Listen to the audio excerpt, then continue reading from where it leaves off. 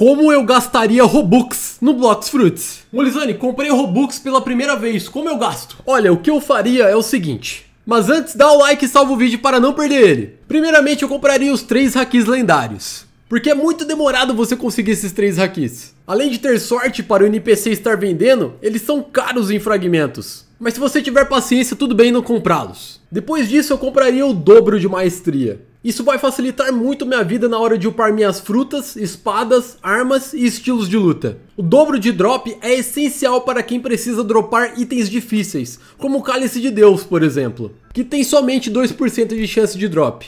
Só depois disso eu pensaria em frutas permanentes e a Dark Blade, sendo a Dark Blade como minha primeira opção, depois as frutas. Não compre o notificador de frutas, é muito caro e não vale a pena. E aí, como é que você gastaria seus Robux? Comenta aí.